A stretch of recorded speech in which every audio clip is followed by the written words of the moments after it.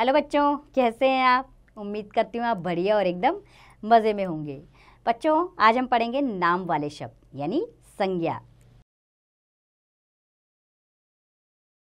बच्चों, संसार में ऐसा कुछ भी नहीं जिसका नाम ना हो। हर चीज़ को हम किसी ना किसी नाम से बुलाते हैं। आइए, संज्ञा क्या है, चित्रों के माध्यम से जान लें। हमारे सामने एक चित्र है।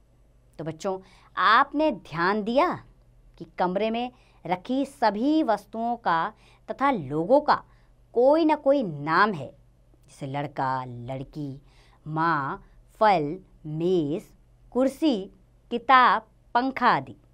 अतः कह सकते हैं कि संसार में सबके नाम होते हैं। नामों को संज्ञा कहा जाता है। क्या कहा जाता है नामों को? नामों को संज्ञा कहा जाता है। अगर आप समझ गए हैं कि संज्ञा शब्द नाम होते हैं तो नीचे दिए गए चित्रों के नाम लिखिए। हम इनको पढ़ देते हैं।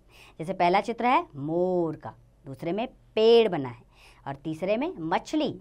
और चौथे में है, थैला। अब इनको आप स्वयं लिखिए।